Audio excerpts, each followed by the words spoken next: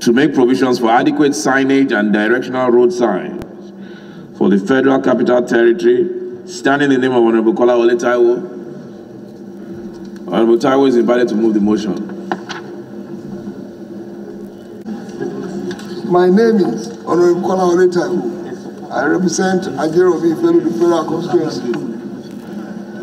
I hereby move that the House note that signage and directional signs promote orderliness and make the society more efficient as it makes locating places and navigation of facilities convenient and easy for users. Also note that most civilized cities across the world have adequate signage and directional road signs for usage by both inhabitants and visitors. Concerned that there are inadequate signs, signage and directional road signs on some major roads in the Federal Capital Territory. And some of the existing ones are either worn out or poorly fixed, making it difficult for people to navigate within the city. Also concerned that impression of the international community about FCT if locating places of interest and businesses is difficult. Worried that many accidents have occurred as a result of motorists not being able to concentrate on driving as they encounter difficulty in navigating using the availability available road signs.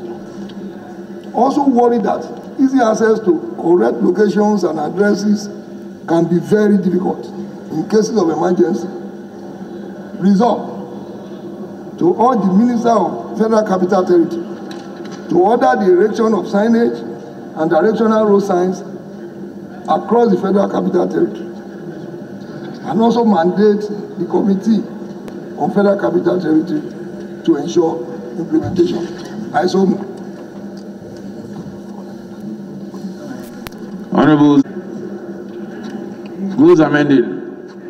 Honorable Engineer Johnson, what's your amendment?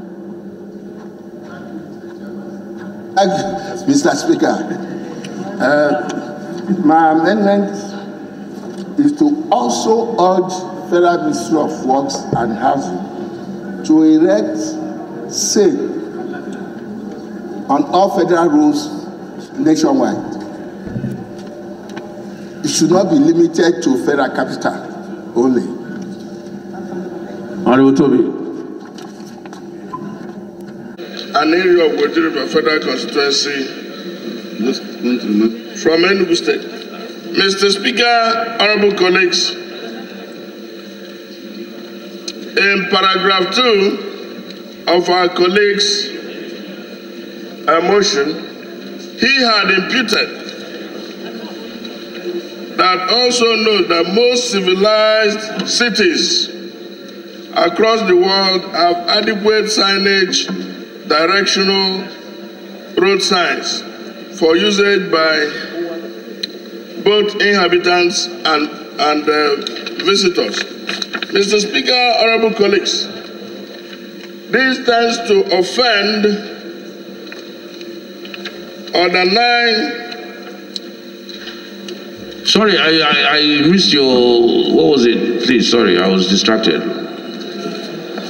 Mr. Speaker, I had mentioned that our colleague on paragraph 2 had imputed that in most civilized cities across the world, that there you know, uh, erect road signs and uh, cities, creating the impression which tends to offend under 9 rule 7